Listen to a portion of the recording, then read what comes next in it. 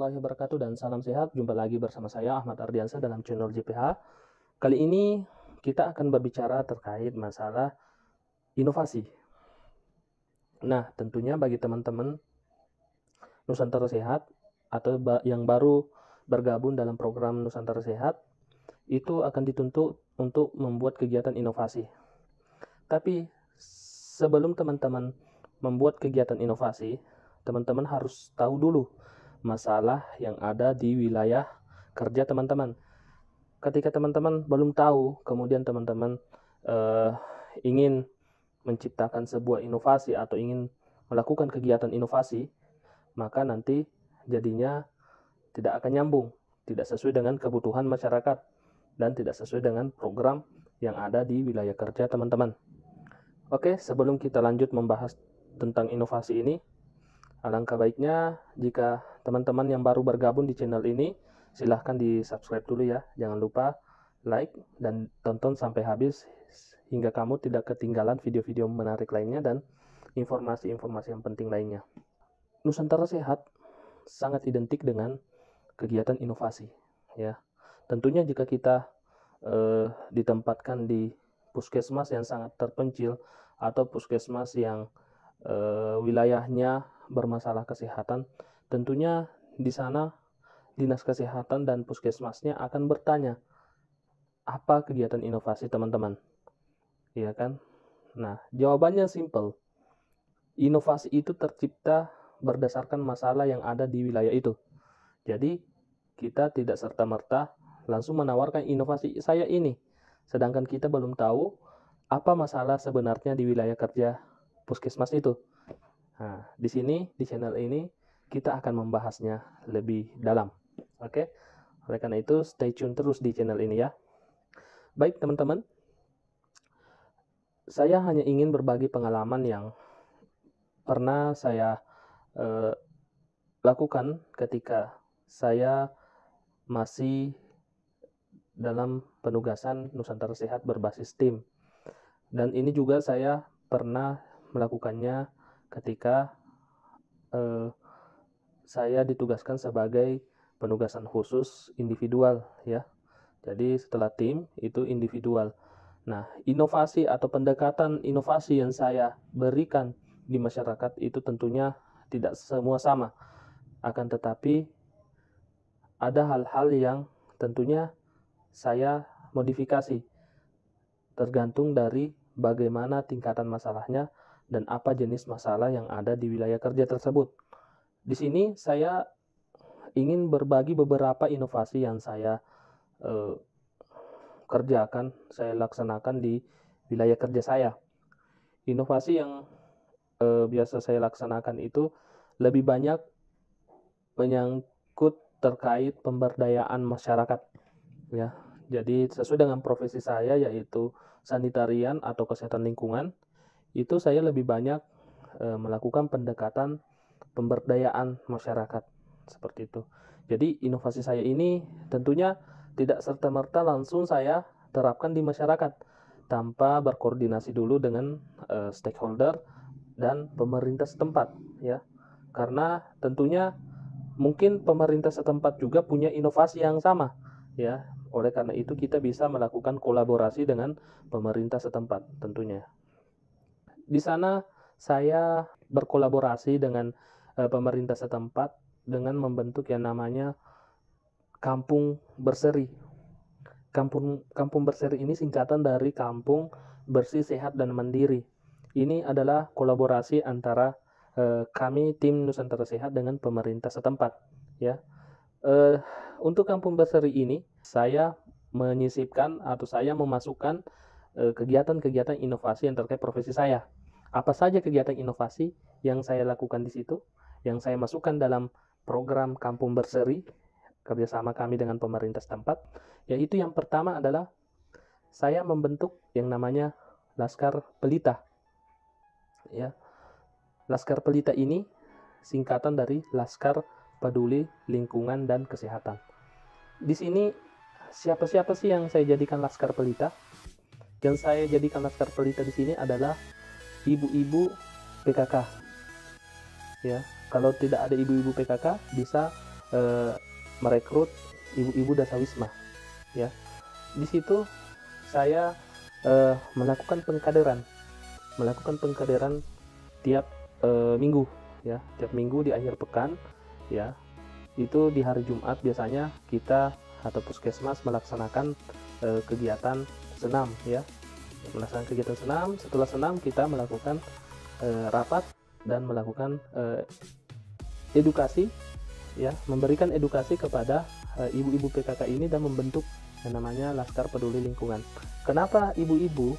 Karena rata-rata di sana yang paling punya peran aktif itu adalah ibu-ibu ya ibu-ibu rumah tangga suaminya ya tinggal ngikut saja ya jadi kita melakukan pendekatan seperti itu kita berikan edukasi ya kita menyampaikan informasi-informasi terkait kesehatan kemudian tujuan-tujuan e, terkait laskar pelita ya nah setelah itu mereka lah yang e, apa namanya mereka lah yang e, membagi informasi atau menyebarkan informasi yang kami berikan. Kemudian yang kedua, inovasi yang eh, saya lakukan adalah membentuk yang namanya bank sampah. Di mana di daerah tersebut ya sampah-sampah itu kurang diolah atau kurang dikelola dengan baik sehingga pendekatan ini ya eh, di samping terkait masalah mengurangi timbulan sampah itu juga kita bisa e, meningkatkan ekonomi masyarakat. Bagaimana cara melakukan e, pembentukan bank sampah? Ya, itu tadi melalui kegiatan Laskar Pelita tadi. Nah, di situlah saya memberikan materi-materi terkait bagaimana pengelolaan sampah di masyarakat, bagaimana kita melakukan daur ulang, ya kan?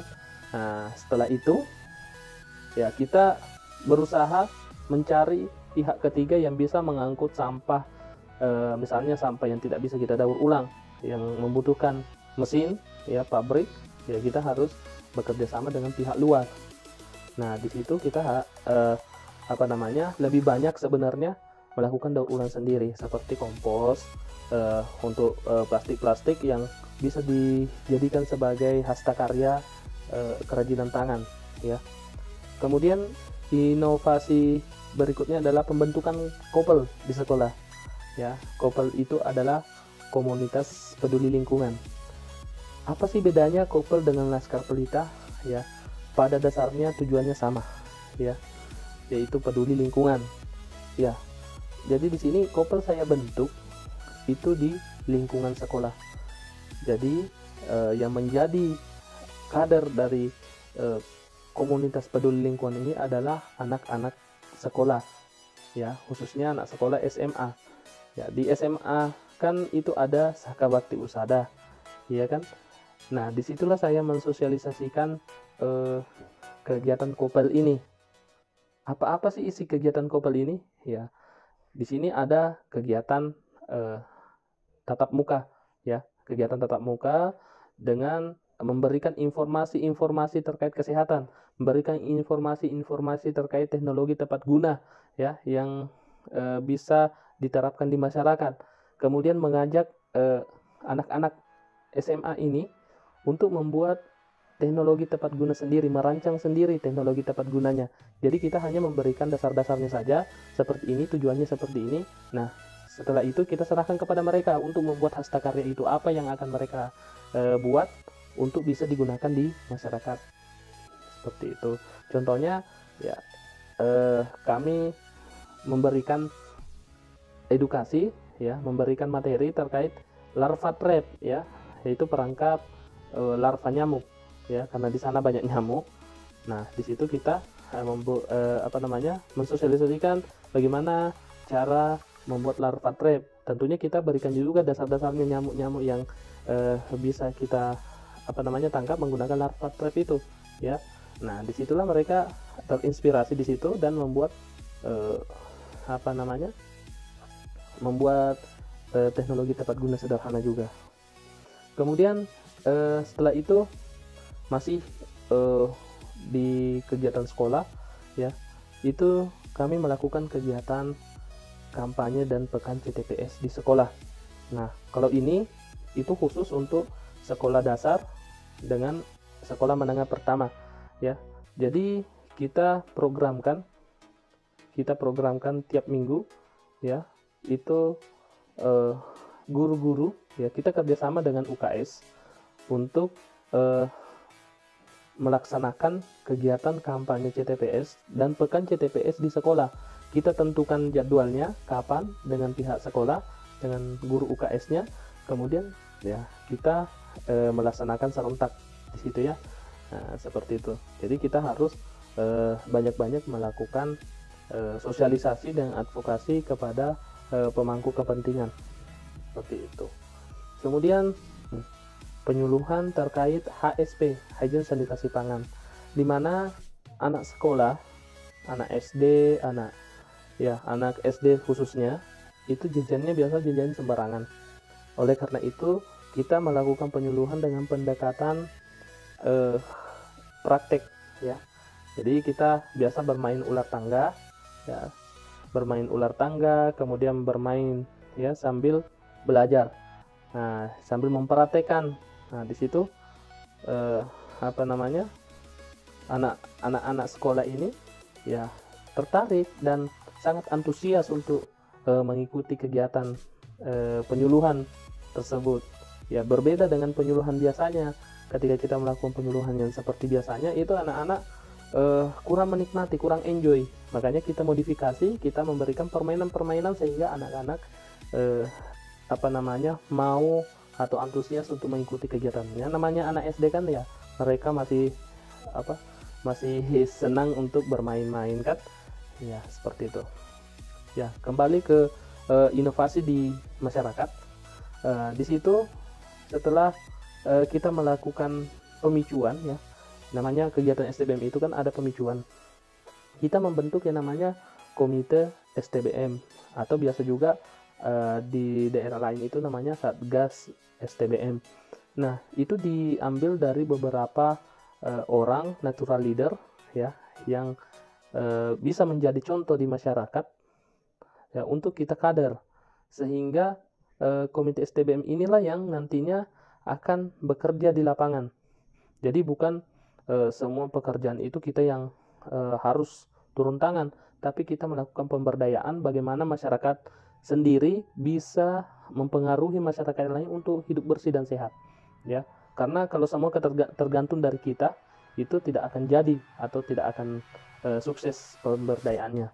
Oleh karena itu kita harus e, mampu dan e, bisa untuk mengajak atau merangkul mereka sehingga mereka bisa mandiri dan beberapa wilayah tempat tugas saya saya e, terapkan yang demikian ya oh ya inovasi berikutnya adalah e, kursus TFU ya.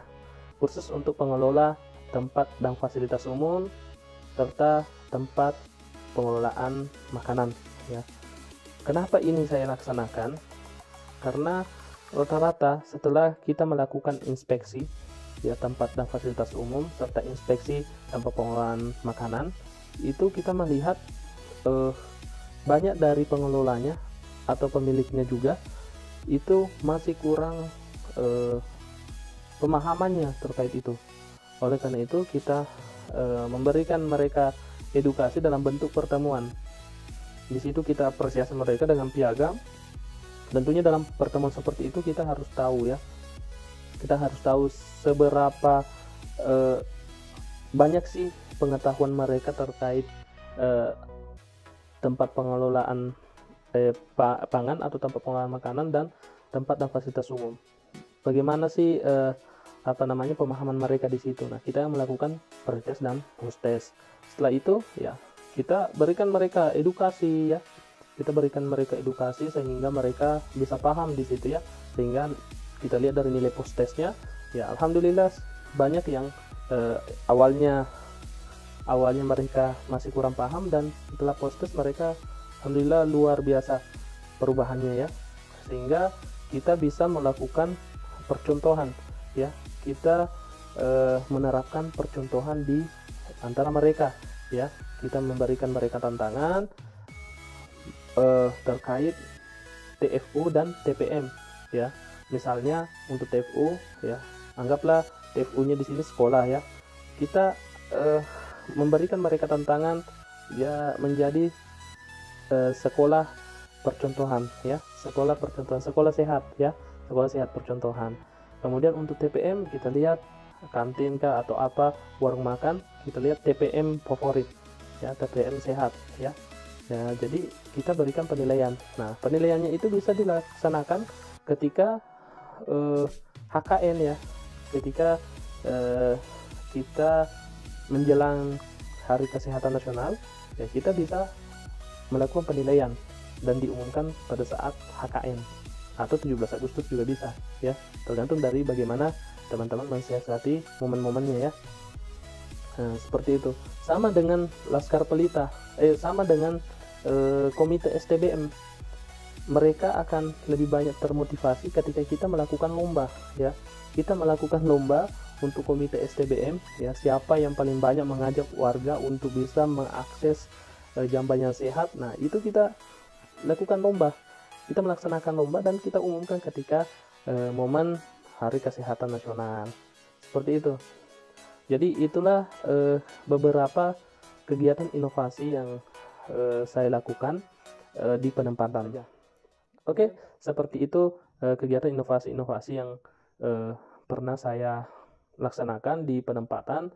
Dan ingat teman-teman sekali lagi bahwa inovasi itu bisa kita uh, buat kita laksanakan sesuai dengan masalah-masalah kesehatan di wilayah kerjanya kita. Jangan sampai teman-teman membuat inovasi yang tidak dibutuhkan sama sekali oleh masyarakat sehingga ya sia-sialah inovasi yang teman-teman lakukan. Alhamdulillah selama ini penem tempat penempatan saya ya dengan menerapkan inovasi-inovasi dengan pendekatan seperti itu ya sudah banyak hasil yang bisa diperoleh. Contohnya ya sudah beberapa desa ODF kemudian ada kampung yang sehat kampung berseri seperti itu. Intinya di sini bagaimana teman-teman bisa bekerja sama dengan lintas sektor. Jangan bekerja sendiri. Lakukan pemberdayaan sesuai dengan profesi teman-teman. Oke sekian dulu dari uh, informasi yang saya sampaikan bagi teman-teman yang belum subscribe silahkan subscribe video ini dan uh, bagikan ke teman-teman yang lain. Semoga video ini bermanfaat bagi yang lainnya. Nah, baik teman-teman jika teman-teman masih atau ada uh, masukan saran ya atau uh, ada inovasi-inovasi yang sebenarnya teman-teman miliki silahkan ditulis di kolom komentar.